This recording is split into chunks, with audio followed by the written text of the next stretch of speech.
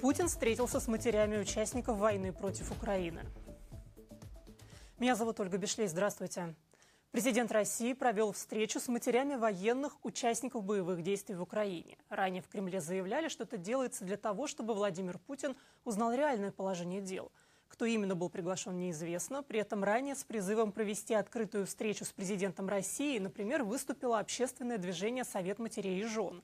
Их основное требование – отвести срочников из зоны обстрелов и не направлять мобилизованных на передовую – Женщины пишут обращение с жалобами на незаконную мобилизацию, призывают власти России к началу мирных переговоров с Украиной.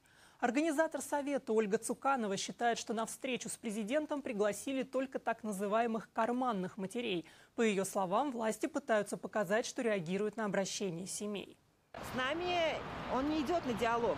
Мы, когда мы начали приглашать на круглый стол, то увидели в СМИ, что президент 27 ноября встречается с какими-то женщинами, а, матерями военнослужащих. И у нас возник вопрос, мы здесь уже несколько дней находимся, официально везде требуем, ходим, а, пытаемся всячески как-то с властью выйти на диалог, и нас как будто нет.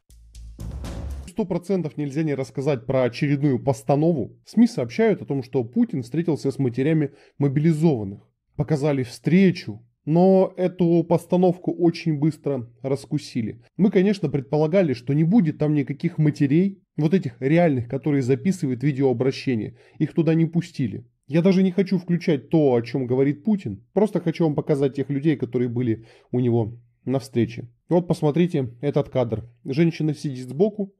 Что у нее там написано на листочке? Как ее зовут? Можно прочитать, что это Ольга Бельцева. Поиск в интернете дает информацию о том, что Ольга Бельцева – это муниципальный депутат Московского района Отрадная.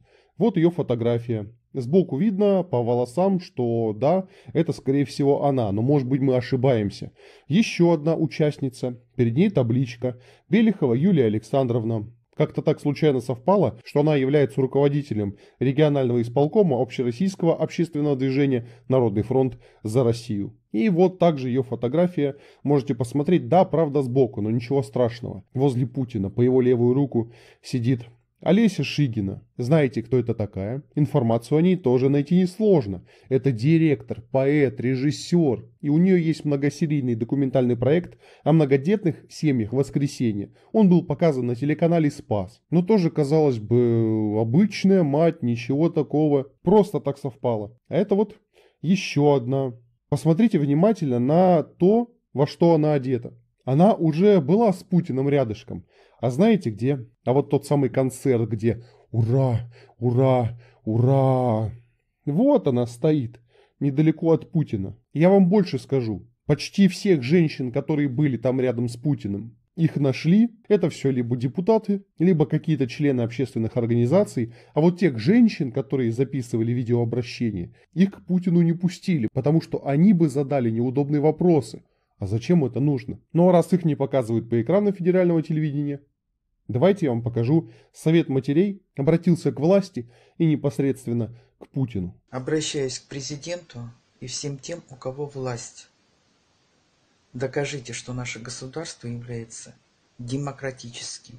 Вот если вы не увидите нас, меня, других женщин, которые сегодня по Москве ходят, которых видели на пресс-конференции, то значит это не настоящий круглый стол, то значит это не настоящая встреча президента, либо какого-то официального лица с общественностью. Это все делается для того, чтобы показать, вот мы реагируем. Но это не то, что нам нужно. Владимир Владимирович, вы мужчина или кто?